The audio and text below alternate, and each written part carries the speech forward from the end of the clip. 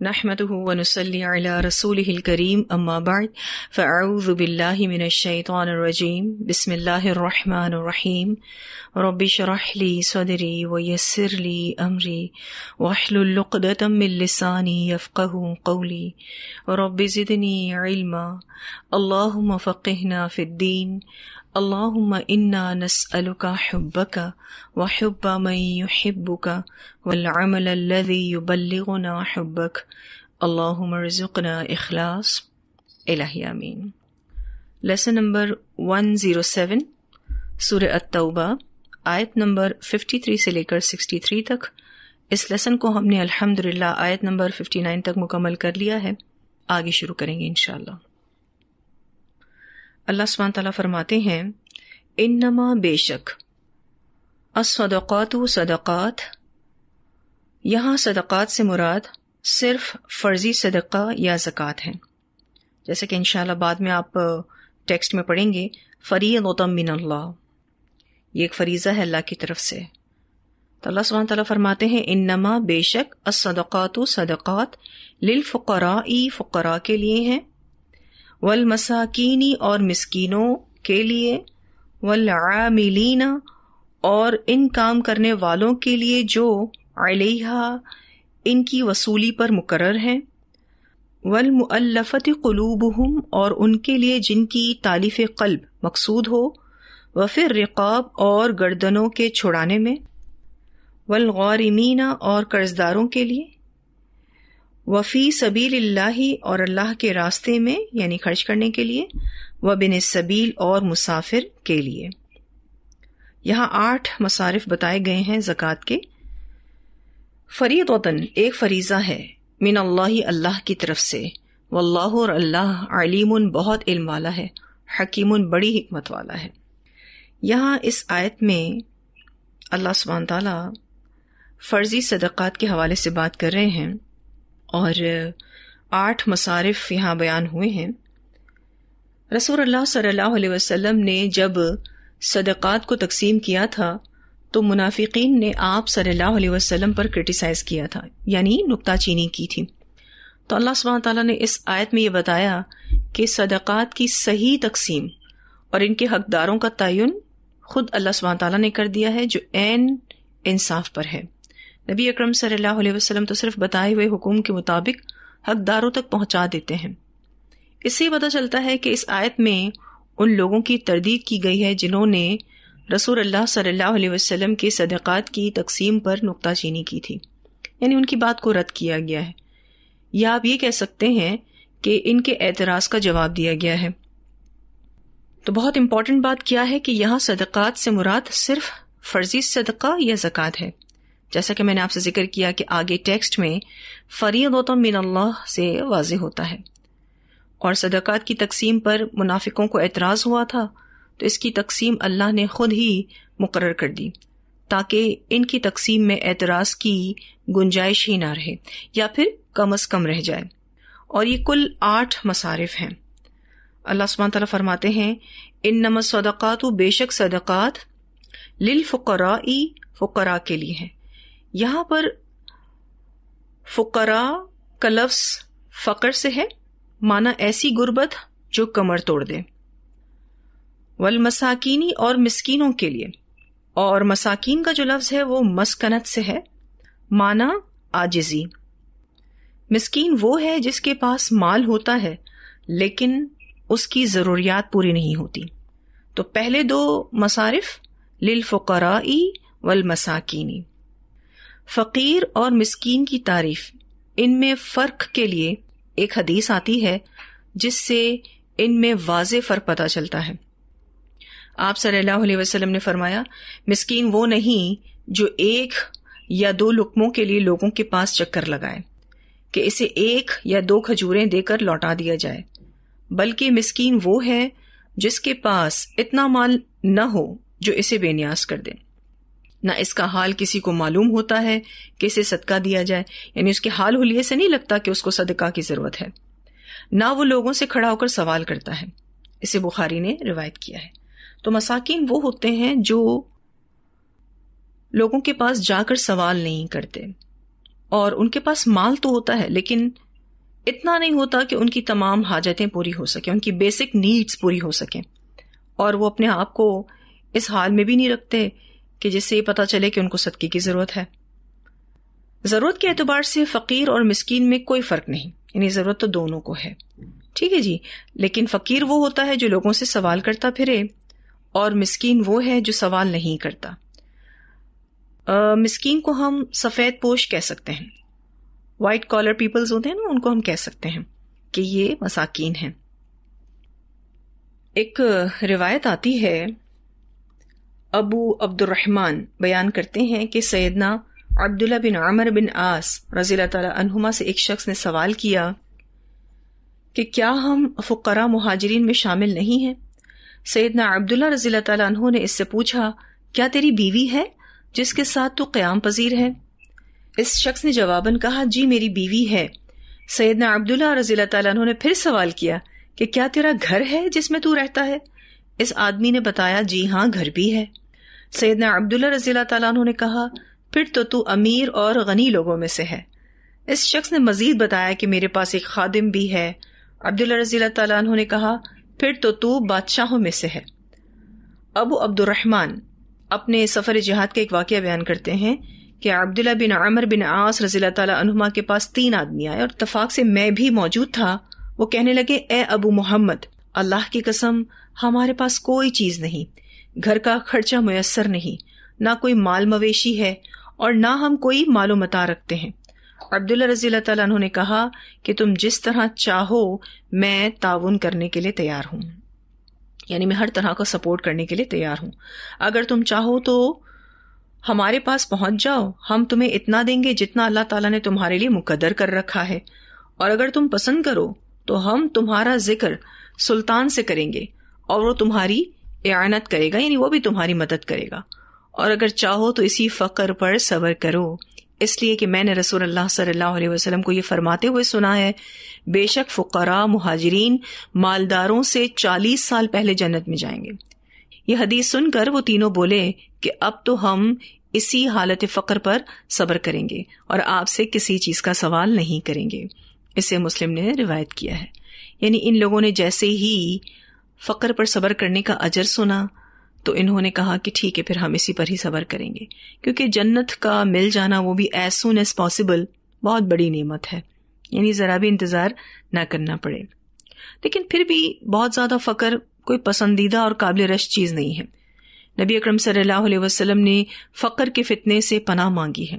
एक रिवायत में आता है सैदा आयशा रज़ी तला बयान करती हैं कि रसूल अल्लाह सल्लल्लाहु अलैहि वसल्लम इन अल्फाज के साथ दुआ किया करते थे, अल्लाहुम्मा इन्नी आऊज़ुबिका मिनल कसली वल हरमी, वल मअसमी वल मगरमी व मिन फितनतिल क़ब्री व अज़ाबिल क़ब्र, व मिन फितनतिन नारी व अज़ाबिन नार, व मिन शर फितनतिल गिना, व अऊज़ु बिका मिन फितनतिल फ़क्र, व अऊज़ु बिका मिन फितनतिल मसीह दज्जाल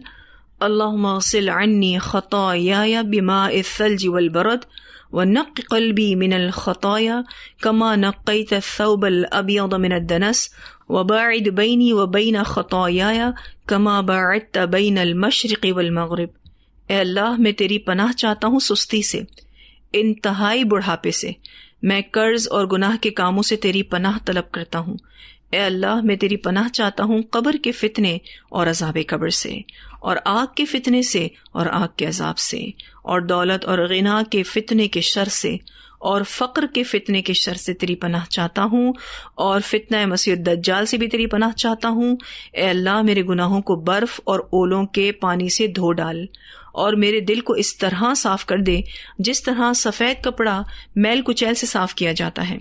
मेरे और मेरे गुनाहों के दरमियान इस तरह दूरी फरमा दे, जिस तरह तूने मशरक और मगरब के दरमियान दूरी डाली है। इसे बुखारी ने रिवायत किया है। अब आप देखिए, नबी अक्रम सल्लल्लाहु इस दुआ में फ़क्र से या फिर फ़क्र के फितने से अल्लाह सुबहान ताला की पनाह तलब कर रहे हैं कि अल्लाह तो मुझे अपनी पनाह में ले ले। क्योंकि देखें, जब गुर्बत होती है ना तो ईमान का बड़ा ख़तरा होता है। इंसान बहुत से गलत रास्तों पर जा सकता है। इसलिए इस फ़क्र के फितने से पनाह मांगनी चाहिए। एक और रिवायत आती है सैदना अबू हुरैर रसोल्ला सल्लल्लाहु अलैहि वसल्लम कि एक दुआ इन अल्फाज से बयान करते हैं, अल्लाहुम्मा इन्नी आऊज़ुबिका मिनल फ़क़री, व आऊज़ुबिका मिनल क़िल्लति व ज़िल्ला व आऊज़ुबिका अन अज़लिमा उज़लम। ए अल्लाह, मैं फ़क्र से तेरी पनाह चाहता हूँ, माल की कमी और ज़िल्लत से भी तेरी पनाह तलब करता हूँ। और मैं तेरी पनाह चाहता हूँ इस बात से कि किसी पर जुल्म करूँ या कोई मुझ पर जुल्म करे। इसे नसाई ने रिवायत किया है। इसी तरह एक और रिवायत आती है। मुस्लिम बिन अबू बकर और रही बयान करते हैं कि मेरे वालिद फ़र्ज़ नमाजों के बाद ये दुआ किया करते थे। अल्लाह इन्नी आउज़ुबी का मिनल कुफरी वल फ़करी वज़ाबिल कब्र। ए अल्लाह, मैं तेरी पनाह चाहता हूँ कुफर से, फ़कर और तंगदस्ती से और अजाब कब्र से। ये कलेमात याद करके मैंने भी पढ़ना शुरू कर दिए। तो एक दिन मेरे वालिद ने मुझसे पूछा, मेरे बेटे, ये कलेमात तुमने कहाँ से याद किए हैं? मैंने अर्ज़ की अब्बाजान आपसे। तो मेरे वालिद ने मुझे बताया कि रसूल अल्लाह सल्लल्लाहु अलैहि वसल्लम हर नमाज़ के बाद ये दुआ किया करते थे। यानी कितना ज़रूरी है इन दुआओं को याद करना और अपने लिए अच्छे हालात मांगना। क्योंकि ऑब्वियसली जब हालात ठीक नहीं होते तो इंसान के ईमान का बड़ा इम्तिहान होता है। फिर ये कि जो शख्स तंदुरुस्त, ताकतवर और कमाने के काबिल हो, वो जक़ात का हकदार नहीं है। यानी बहुत सारे लोग फ़ुकरा और मसाकिन की कैटेगरी में नहीं आते, लेकिन फिर भी वो जक़ात मांग रहे होते हैं। तो जो शख्स तंदुरुस्त हो, ताकतवर हो और कमाने के काबिल हो तो वो जक़ात का हकदार नहीं होता।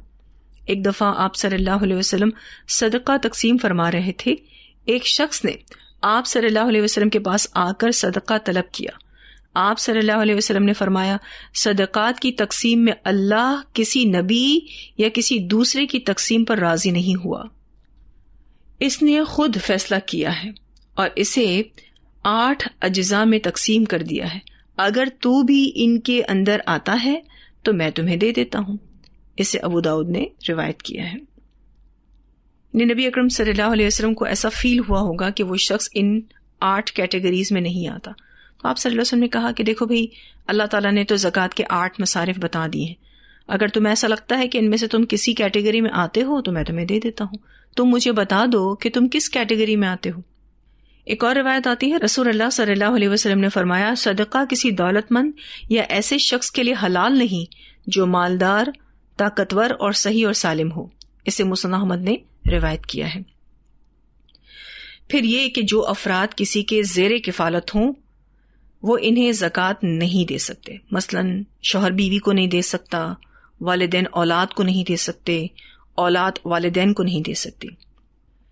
एक रिवायत आती है, एक शख्स ने आप सल्लल्लाहु अलैहि वसल्लम से कहा कि मैं साहिब माल हूँ और मेरे वालिद मोहताज हैं। आप सल्लल्लाहु अलैहि वसल्लम ने फरमाया, तू और तेरा माल, सब कुछ तेरे बाप का है। औलाद ही तुम्हारी पाकिजा कमाई होती है और अपनी औलाद की कमाई से तुम खा सकते हो। इसे अबू दाऊद ने रिवायत किया है। यानी औलाद के पास अगर माल है तो वो अपने माल से अपने पेरेंट्स को दे। ऐसा ना हो कि वो उनको जक़ात दे रहा हो। फिर इसी तरह से आप देखिए कि बाज दफ़ा ये सवाल आता है कि शादीशुदा औलाद को वालदेन अपनी जक़ात दे सकते हैं या नहीं? देखें अगर वालिद साहब का अपना कारोबार है तो वो औलाद को जक़ात नहीं देंगे। बल्कि अपने कारोबार से हासिल होने वाले माल से ही उन पर खर्च करेंगे। जैसे कि मैंने ज़िक्र किया ना कि माँ बाप भी बच्चों पर जक़ात नहीं लगा सकते। ठीक है? तो इनको जक़ात नहीं दी जाएगी। यानी अपनी औलाद को कोई जक़ात नहीं देता। अगर वालिद का कोई कारोबार ना हो और उसके पास उसकी मौजूद जमा पूंजी हो और वो उसमें से जो जक़ात निकालेंगे तो वो अपनी औलाद को दे सकते हैं।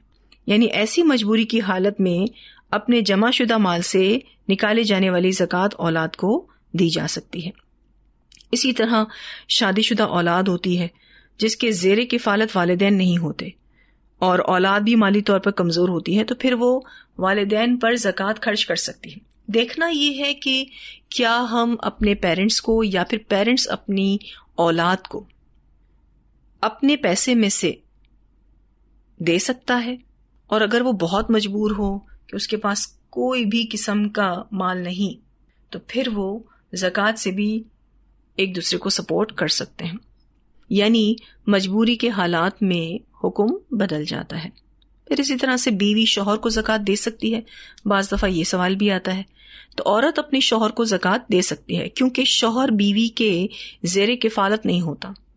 बुखारी की तवील रिवायत आती है, अब्दुल्ला बिन मसूद रजील तु की बीवी आप सल्लल्लाहु अलैहि वसल्लम के पास आई तो वहाँ एक और अंसारी औरत अपना एक इशू लेकर आई थी, जो कि इनका भी मसला था। यानी अब्दुल्ला बिन मसूद रजील तु की वाइफ का भी मसला था कि क्या हम अपने हस्बैंड को जक़ात दे सकती हैं? तो आप सल्लल्लाहु अलैहि वसल्लम ने जवाब दिया कि हाँ ये सदका दुरुस्त है और इसके लिए तो दोहरा अजर है, एक कराबत का और दूसरे सदका का। फिर इसी तरह से दामाद अपने ससुर को जक़ात दे सकता है तो जी दे सकता है, क्योंकि ये इनकी जेर किफ़ालत नहीं होते। इसी तरह से क्या शादीशुदा बेटी भी अपने पेरेंट्स को जक़ात दे सकती है? तो अगर वो माली तौर पर कमज़ोर है तो दे सकती है। ठीक है जी? तो यहाँ पर फ़ुकरा और मसाकिन की जहाँ बात हो रही है तो वहाँ हमें ये बात भी समझने की ज़रूरत है कि अगर हमारे रिश्तेदारों में से कोई मसाकिन है, कोई फ़ुकरा है तो हम किनको ज़क़़त दे सकते हैं और किनको नहीं दे सकते? फिर अल्लाह सुबहान ताला फरमाते हैं वलामिलीन अलैहा। और इन काम करने वालों के लिए जो इनकी वसूली पर मुकर है। अब यहाँ वो लोग मुराद हैं जो ज़क़़त को वसूल करने वाले हैं, यानी ज़क़़त को वसूल करने वाला अमला। फिर इसी तरह से ज़क़़त को तकसीम करने वाला अमला। फिर इसी तरह से इसका हिसाब किताब रखने वाला अमला। पूरा एक डिपार्टमेंट होता है इस्लामी हुकूमत में कि जहाँ ये पूरा एक डिपार्टमेंट जिसमें कोई ज़क़़त को वसूल कर रहा होता है तो कोई ज़क़़त को तकसीम करने जा रहा होता है और कोई इसके अकाउंट्स को मेंटेन कर रहा होता है, यानी उसका हिसाब किताब रख रहा होता है। ये तीनों अमवाल जक़ात से मुआवजा या सैलरीज ले सकते हैं। तो आमिल से मुराद वो लोग हैं जो जक़ात की वसूली और उसकी तकसीम और उसके हिसाब किताब के जिम्मेदार हैं। अब ऐसे लोग अगर अमीर हों या गरीब हों तो वो बगैर किसी शक के जक़ात में से सैलरीज ले सकते हैं। यानी उनकी सैलरीज फिर ऑब्वियसली डिसाइड होती हैं और फिर उनको उसमें से सैलरीज दी जाती हैं। यानी इस डिपार्टमेंट के लोग मालदार भी हों तो सैलरीज ले सकते हैं, मुआवजा ले सकते हैं और मुआवजा लेकर बेशक बाद में सदका करें। इस बारे में एक रिवायत आती है। अब्दुल्ला बिन सादी बयान करते हैं कि मैं सैदना उमर फारूक रजील तु के ज़माने खिलाफत में आपके पास आया। तो उन्होंने कहा कि मुझे पता चला है कि तुम लोगों के काम में लगे रहते हो और जब तुम्हें इसकी उजरत दी जाए तो इसे नापसंद करते हो। कहते हैं कि मैंने कहा, जी हाँ। तो उमर रजील ने कहा कि तुम्हारा इससे मकसद क्या है? मैंने जवाब दिया कि मेरे पास माल है, घोड़े और गुलाम है। मैं चाहता हूँ कि अपनी उजरत मुसलमानों पर सदका कर दूँ।